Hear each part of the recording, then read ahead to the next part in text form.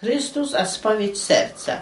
Jakie stanowisko zajął Jezus wobec biblijnego sposobu pojednania człowieka z Bogiem? Pismo Święte zawiera dostateczną ilość informacji, umożliwiając wszechstronne zbadanie tego e, interesującego zagadnienia. Od zarania dziejów ludzkości czciciele Jahwe spowiadali się wyłącznie Bogu. Powszechnie znaną i praktykowaną formą spowiedzi była spowiedź serca. Chrystus nie zniósł jej i nie dokonał żadnej modyfikacji. Przeciwnie, nadał jej urzędowy jakby charakter jako instytucji nowotestamentowej, włączając ją oficjalnie do modlitwy przeznaczonych dla wiernych. Tysiące chrześcijan na całym świecie odmawia codziennie tę zniosłą modlitwę, a nie zdaje sobie sprawy z tego, że wyznawanie grzechów przed Bogiem stanowi jej część istotną. Ojcze nasz, któryś jest w niebiosach, święcie imię Twoje, przyjdź królestwo Twoje, bądź wola Twoja, jako w niebie, tak i na ziemi. Chleba naszego powszedniego daj nam dzisiaj i odpuść nam nasze winy, jako i my odpuszczamy naszym winowajcom. I nie wódź nas na pokuszenie, ale nas zbaw ode złego. Spowiedź serca weszła ostatecznie i definitywnie w skład chrześcijańskiej modlitwy na mocy wyraźnego postanowienia Jezusa, stając się prawdziwym skarbem Chrystusowego Kościoła. Nikt chyba nie wątpi, że taka jest jej rola, znaczenie w modlitwie pańskiej. Oprócz spowiedzi serca, której celem jest pojednanie człowieka z Bogiem, Jezus zwrócił także uwagę na konieczność pojednania się człowieka z człowiekiem jako warunek prawdziwego chrześcijańskiego życia, gdyż kto nie miłuje brata, nie może też miłować Boga. Dochodzi to do skutku przez wyznanie win pokrzywdzonemu i uzyskanie od niego przebaczenia. Jest to tak zwana spowiedź pojednania, ponieważ ma na to na celu pojednanie ludzi między sobą. Grzechy przeciwko bliźniemu wyrządzają krzywdę zarówno jemu, jak i Bogu, są przecież naruszeniem prawa miłości. Należy więc przeprosić za nie Boga i bliźniego. Jezus określił tę zasadę słowami. Jeśli tedy poniesiesz dar twój do ołtarza, a tam wspomnisz, że brat twój ma coś przeciwko tobie, zostawże ten tam dar twój przed ołtarzem, a idź i pojednaj się wpierw z twoim bratem, a potem przyjdź i służ dar twój. Obowiązkiem pokrzywdzonego jest darowanie uchybień swemu winowajcy. Wymaga to wielkoduszności, lecz wielkoduszność jest zniosłą cnotą odrodzonego serca. Jeśli by zgrzeszył brat twój, upomnij go, a i gdyby żałował, odpuść mu. I gdyby siedem, siedemkroć na dzień zgrzeszył przeciwko tobie i siedemkroć zwrócił się do ciebie, mówiąc, żałuję tego, odpuść mu. Darowanie win powinno postępować nawet wówczas, gdy winowajca nie wyzna przestępstwa. Przypowieści o królu rachującym się z swymi sługami rozgraniczone zostały obowiązki względem Boga od powinności wobec człowieka, a grzechy przeciw Bogu od wykroczeń przeciw człowiekowi. Za grzechy stanowiące obrazy majestatu Bożego należy przeprosić Boga, za wykroczenie przeciw człowiekowi człowieka. Wszelkie krzywdy trzeba naprawić. Apostoł Jakub udziela praktycznych wskazówki w realizowaniu spowiedzi pojednania. Wyznawiajcie więc sobie nawzajem grzechy wasze i módlcie się jedni za drugich. Podobnie naucza apostoł Paweł.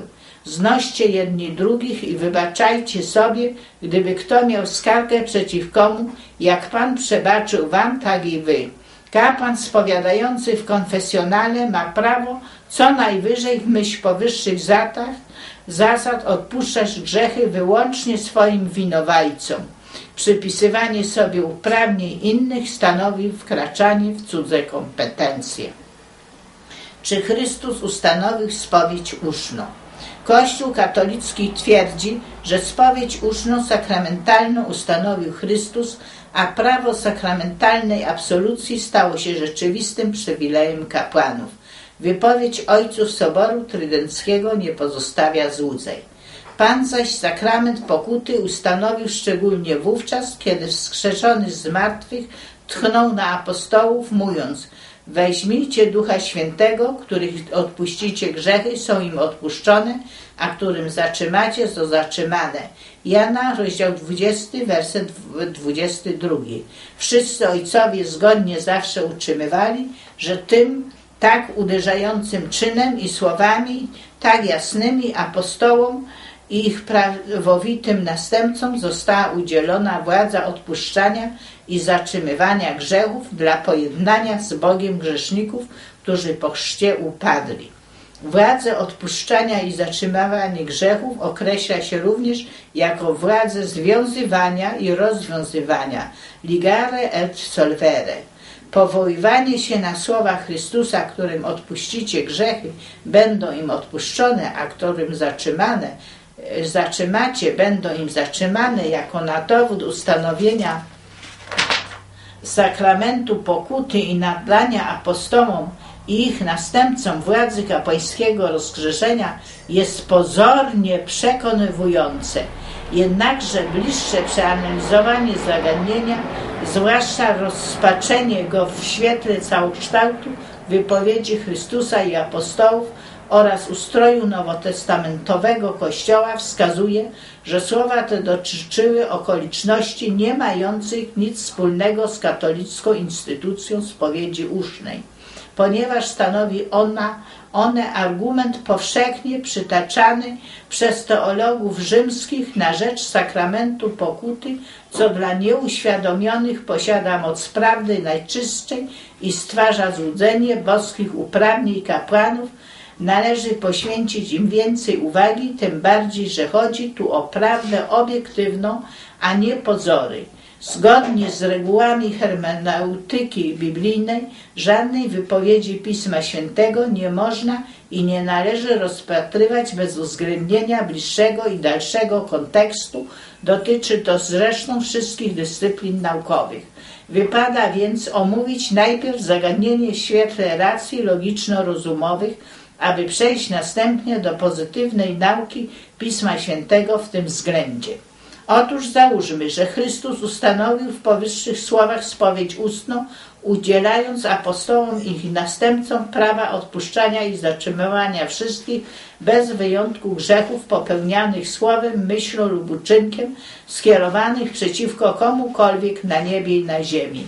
Jakie wypływają stąd wnioski? Przede wszystkim nasuwa się pytanie, dlaczego apostołowie, skoro otrzymali władzę spowiadania i rozgrzeszania wyznawców Chrystusa, którzy po chrzcie popadli w grzech, nie korzystali z tych uprawnień? Dlaczego nie nawoływali do usznej spowiedzi i nie spowiadali i nie udzielali absolucji? Okazali okazji nie brakowało. Dlaczego na przykład apostoł Piotr, uchodzący w pojęciu Kościoła katolickiego za księcia apostołów, nie egzekwował tej władzy w odniesieniu do Szymona, o którym wspominają dzieje apostolskie jako o wielkim grzeszniku. Szymon, Szymon widząc jak apostołowie udzielali Ducha Świętego przez składanie rąk, przyniósł im pieniądze i rzekł Dajcie i mnie tę władzę, aby każdy, na kogo włożę rękę, otrzymał Ducha Świętego. Nie trzeba dowodzić, że Szymon, będąc chrześcijaninem, popełnił śmiertelny grzech, nazwany potem jego imieniem jako grzech Symonii.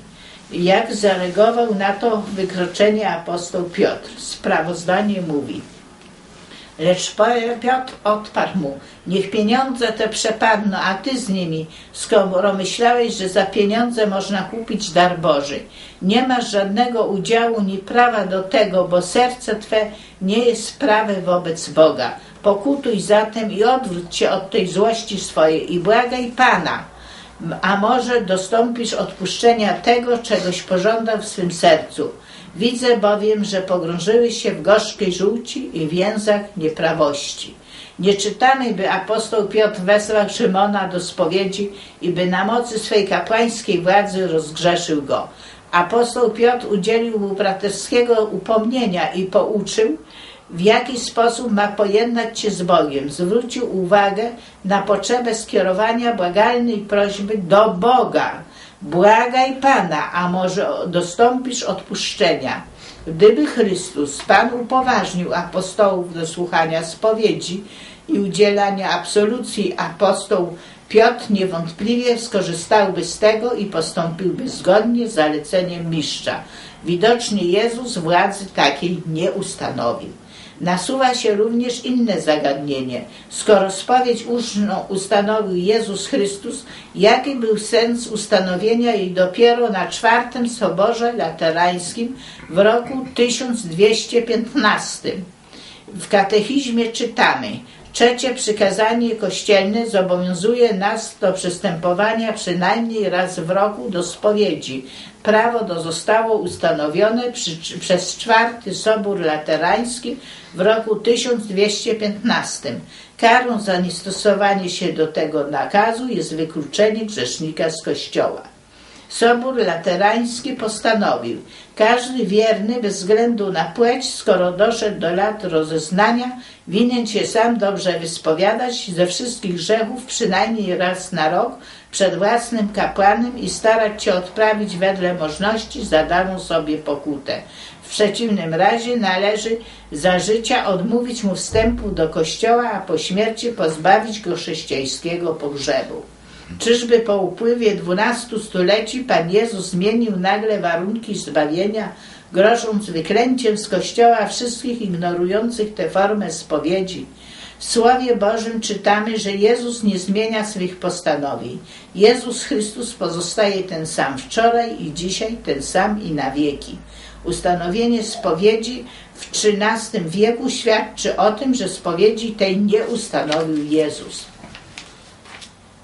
Następnie kwestia uprawnień bożych. Jeżeli Pan Jezus upoważnił apostołów do odpuszczenia wszystkich bez wyjątku grzechów, bez względu na rodzaj i sposób ich popełniania, a więc również i takich, które stanowią obrazy majestatu Bożego, to przez fakt ten pozbawił Ojca przysługujących mu dotąd uprawnień. Wiadomo przecież, że w Starym Testamencie spowiadano się Bogu, Jemu wyznawano grzechy i od Niego oczekiwano odpuszczenia. Gdyby Jezus kompetencje te przeniósł na apostołów i ich następców, dopuściłby się ciężkiej zniewagi Ojca. Każdy rozumie, że nic takiego zaistnieć nie mogło. Nie do pomyślenia więc jest ustanowienie władzy kapłańskiego rozgrzeszenia. Interesująca jest także sprawa aktualności modlitwy pańskiej Ojcze nasz, jeśli Chrystus ustanowił sakramentalne i kapłańskie rozgrzeszenie w myśl zasady, których odpuścicie grzechy i są im odpuszczone, wówczas zanoszenie prośby do Boga przez grzeszników w słowach i odpuść nam grzechy nasze jest całkowicie zbędne. Rozumie się, że skoro kapłan ma prawo udzielać absolucji, grzechy faktycznie zostają odpuszczone. Nie zachodzi zatem potrzeba ponownego zwracania się i w ogóle zwracania się do Boga z prośbą o odpuszczenie grzechów. Taka procedura byłaby powtarzaniem identycznej czynności, a przecież dogmat spowiedzi uczniej nie warunkuje kapłańskiego rozgrzeszenia absolucją Bożą. Ustanowienie spowiedzi ucznej byłoby dezawuowaniem modlitwy pańskiej, gdyż rozgrzeszenie kapłańskie wyłącza rozgrzeszenie Boże. I na odwrót, ustanowienie modlitwy pańskiej i zawarcie w niej postanowienia o spowiedzi słowach i odpuść nam grzechy nasze wyklucza istnienie spowiedzi w pojęciu katolickim. Wreszcie, gdyby Jezus udzielił kapłanom władzy rozgrzeszania, równałoby się to z uzależnieniem tak ważnej czynności, jaką jest odpuszczenie grzechów od ludzkich słabości. Ostatecznie wiadomo, że często o rozgrzeszeniu lub roz, nierozgrzeszeniu penitenta decydują nastroje spowiednika. Niekiedy zdarza się, że gdy jeden spowiednik nie udziela absolucji, udzieli jej inny. Powyższe fakty zaprzeczają twierdzeniu, jakoby Jezus ustanowił spowiedź uszną, nadając jej formę i treść zrozumieniu Kościoła katolickiego. Do Chrystusa odnieść można jedynie spowiedź serca i spowiedź pojednania. Przypisywanie Jezusowi spowiedzi usznej z kapłańskim rozgrzeszeniem sakramentalnym mija się z prawdą. Kościelne uprawnienia wobec błądzących. Jakie jest wobec tego znaczenie słów Jezusa o związywaniu i rozwiązywaniu, odpuszczaniu i zatrzymywaniu grzechów, skoro absurdem jest nauka o boskim pochodzeniu spowiedzi usznej i kapłańskiej władzy rozgrzeszenia. Odpowiedzi szukać należy w nauce Chrystusa i apostołów. Wynika z niej, że Jezus jako założyciel Kościoła Nowotestamentowego nie tylko zdefiniował zasady pojednania człowieka z Bogiem i ludzi między sobą, lecz także ustalił reguły postępowania wobec błądzących, to jest naruszających obowiązujące w społeczności kościelnej normy współżycia i wiary.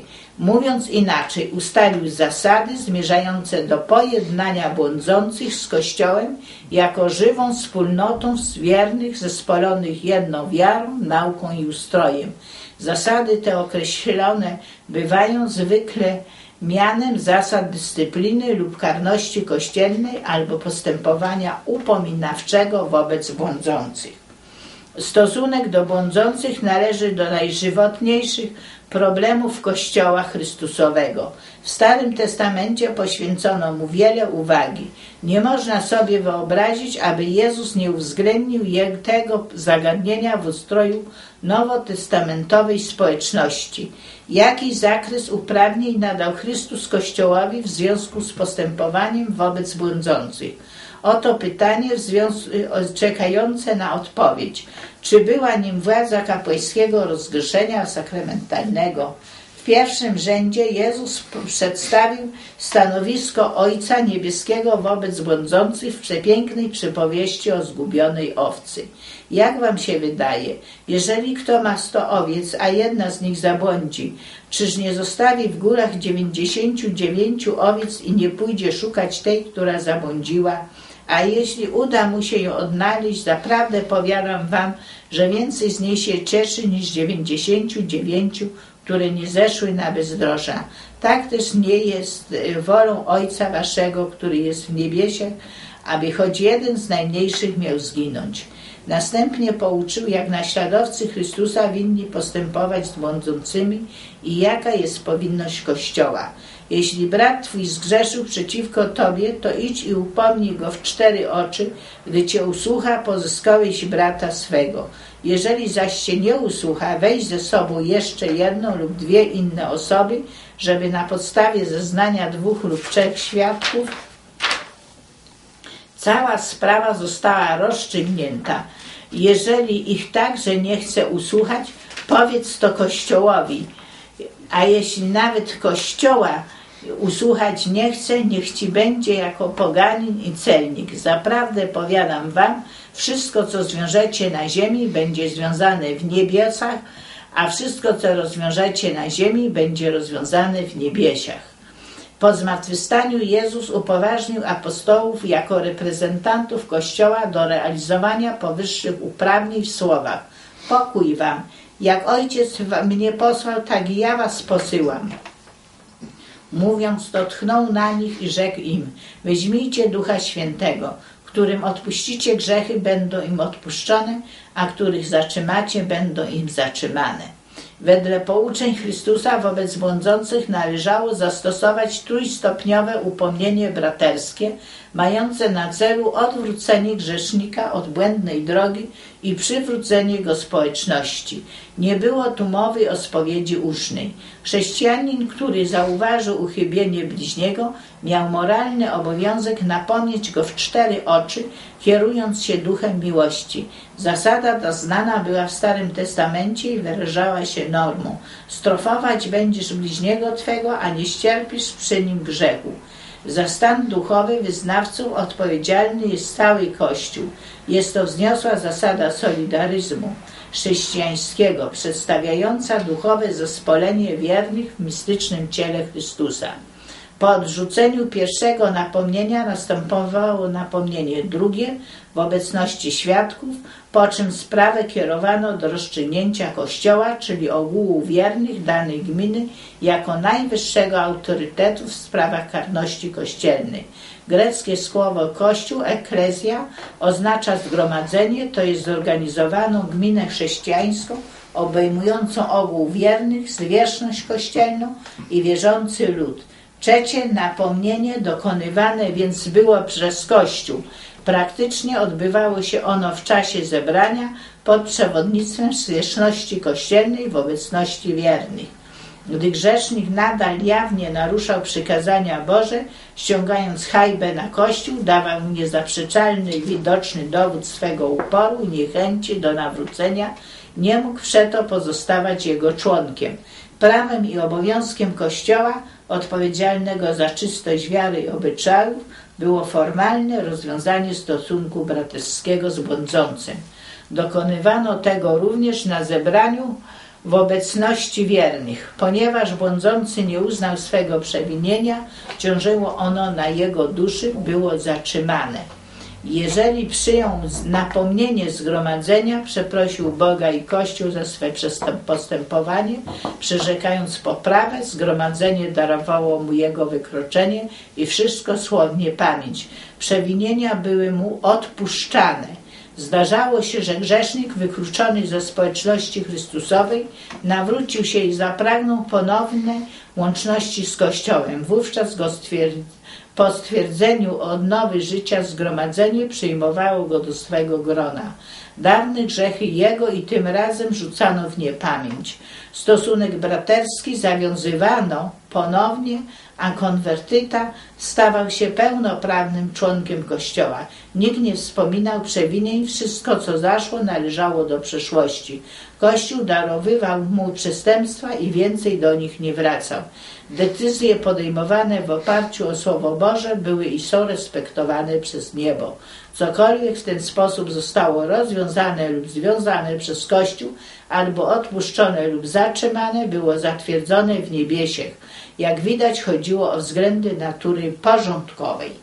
W czasie postępowania upominawczego obowiązywała zasada wyrozumiałości, taktu oraz bratniej miłości połączonej z cierpliwością. Bracia, mówi apostoł Paweł, jeżeli ktoś niebacznie dopuści się wykroczenia, przyprowadźcie go do porządku w duchu łagodności, jako ludzie duchem kierowani. Prosimy was też, bracia, upominajcie krąbnych, pocieszajcie bojaźliwych, podtrzymujcie słabych, a cierpliwi bądźcie dla wszystkich. Czy postępowanie upominawcze było sakramentem pokuty? Postępowanie upominawczo-dyscyplinarne ustanowione przez Chrystusa w celu ochrony czystości życia i wiary Kościoła nie posiadało charakteru sakramentu pokuty, nie było realizowane w drodze spowiedzi usznej ani kapłańskiego rozgrzeszenia sakramentalnego dotyczyło przewinień wyłącznie jawnych, szkodzących reputacji Kościoła i będących obrazą Boga. Nie naruszało kompetencji Bożej, a dla spowiedzi serca jako osobistego przywileju człowieka pozostawiało należne jej miejsce. Ograniczało się do urzeczywistnienia ogólnego dozoru nad sprawami Kościoła. Katolicki sakrament pokuty natomiast obejmuje swym zasięgiem wszystkie grzechy bez względu na sposób ich popełniania osoby pokrzywdzonego oraz naruszone dobro, nie pozostawiając tym samym miejsca na spowiedź serca ani boskie rozgrzeszenie. Różnica jest oczywista. Podobnie uprawnienia kościelne w zakresie postępowania wobec błądzących nie stanowiły władzy rozgrzeszenia na wzór kapłańskiej absolucji sakramentalnej. Prawo związywania i rozwiązywania oraz odpuszczania grzechów i zatrzymywania ich nie przysługiwano jednostce czy nawet samej zwierzchności kościelnej, lecz było prawem ogółu wiernych zwierzchności jako całości danej gminie. Kto nie uznawał autorytetu Kościoła, stawał się jako poganin i celnik. Zwierzchność kościelna nie podejmowała decyzji niezależnych od zgromadzenia, lecz łącznie z nim. Rozpatrywanie przewinień, nawet jawnych i podlegających ludzkiemu spostrzeganiu i osądowi, stanowi czynność zbyt doniosłą i odpowiedzialną, by mogło być powierzone jednostce. Kapłańskie rozgrzeszenie sakramentalne jest natomiast władzą skupiającą się w ręku jednej osoby.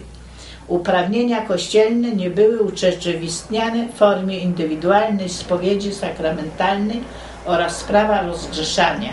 Z oświadczenia apostoła Piotra skierowanego do Szymona błagaj Pana, a może dostąpisz odpuszczenia, wynika, że pozostawianie błądzących w gronie wiernych uzależnione było od ich osobistego nawrócenia i pojednania z Bogiem, co jest jeszcze jednym dowodem, iż zwierzchnicy kościelni ówczesnych czasów nie przypisywali sobie boskiej władzy odpuszczania lub zatrzymania grzechów na wzór katolickich kapłanów.